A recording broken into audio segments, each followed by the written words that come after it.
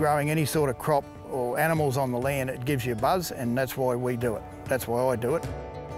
You know, the great myth in the world is that cotton uses a whole lot of water and it uses a whole lot of insecticides. Well, that's just not true. It's certainly not true of up here. All the cotton grown for lint production in Australia now is all known as Bollgard 3. And what that means is that there is a genetic modification in the cotton which combats the Heliothis moth very specifically. It combats other insects. It also has another modification in the plant genetics to accept overspraying of glyphosate.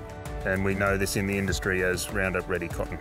Now, those two developments over the last 25 odd years have seen the use of weedicides and insecticides reduced by up to 95%.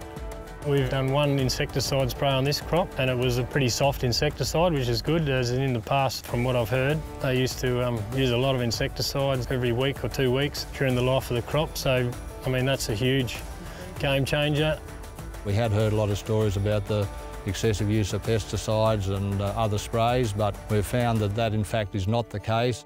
Currently on our crop this year we have not had one insecticide spray, which makes it very good for the environment. And we've found that it actually is a soil improver and a property improver rather than the other. Cotton research and development is making cotton cleaner and greener all the time.